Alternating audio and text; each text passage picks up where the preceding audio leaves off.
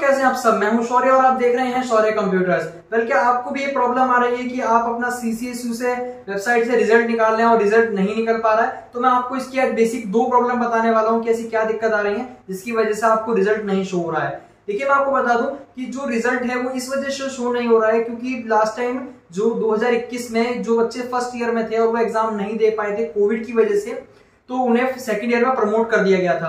Then promote होने की वजह से सीसीएसयू ने ऐलान कर दिया था कि जो भी सेकंड ईयर का रिज़ल्ट आएगा, जो भी नंबर होंगे, वो बच्चों को जो फ़र्स्ट ईयर है, उसमें भी वही नंबर माने जाएँगे।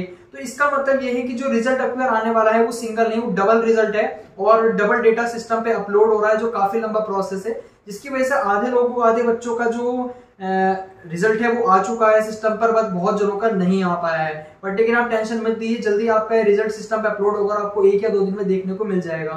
इसकी देखो, मैं आपको एग्जांपल भी बता देता हूँ। आज है 20 तारीख, लेकिन आज ही के दिन वेबसाइट पे दिखा रहा है 19 तारीख को बीकॉम सेकंड ईयर का रिज़ल्ट आया है। जबकि रिज़ल्ट कल आ चुका था, लेकिन फिर भी वेबसाइट पे शो ये आज हुआ है और आज भी काफ़ी जनों का शो नहीं हो पाया रिज़ल्ट काफ़ी ज़्यादा इसकी प्रॉब्लम आ रही है, क्योंकि डेटा ही काफ़ी ज़्यादा बड़ा है। और सेकेंड प्रॉब्लम ये है कि जिनके जो भी फ़र्स्ट ईयर था या फिर सेकंड ईयर था और प्रैक्टिकल नहीं हुए थे कॉलेज वालों ने प्रैक्टिकल के लिए मना कर दिया था तो काफ़ी कॉलेज में प्रैक्टिकल हुए थे, कुछ में नहीं हुए थे, जिसकी वजह से सिस्टम में कुछ कंफ्यूजन आई है और ये जो कंफ्यूजन है जल्दी दूर हो जाएगी देन आपको जो रिज़ल्ट है वो काफ़ी जल्दी देखने को मिलेगा।